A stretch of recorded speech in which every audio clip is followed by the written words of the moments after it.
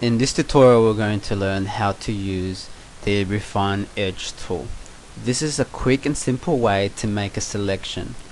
Now for the project where we make the montage or your advertisement or movie poster, this tool comes in handy. To show you an example, I'm going to make a quick Batman Begins movie poster. What I've done is I've got my initial background where I'm going to paste all my images into. To begin with, I click on the first image I have here. So I like the middle Batman here. What you need to click on first is the lasso tool. Now with the lasso tool, you quickly make a rough selection. The aim of this is not to select accurately around the image, but to roughly make a circular selection around the image. Then you scroll up to the button that says Refine Edge. As you can see here, you've got five options.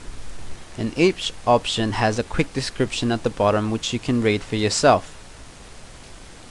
Now in this case it's very important I'm just going to focus on the feather option. Now what the feather does it smoothens and makes things transparent. Once you click on feather you're able to then click OK. Make sure the feather value is high. Then you can control C to copy and then control V to paste. As you can see my image has been selected and it blends in with my background. So I'll repeat the process again. I then go to my second image get the lasso tool and quickly select around my image. In this case I'm not happy with the shape so I'll make it slightly larger the circle I click refine edge and as you can see my feather has been has stayed at the last value used. So I'm happy with that 64 click OK. Control C then you can control V to paste into my background.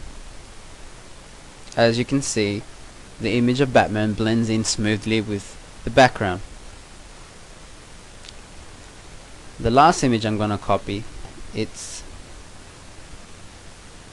the Joker. So I quickly use the lasso tool to make a selection. I hit the refine edge button. Because we've used feather before the value has stayed the same. Then we are able to click OK.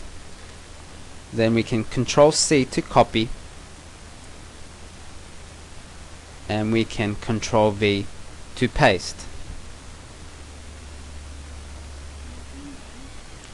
as you can see the Joker smoothly blends into the background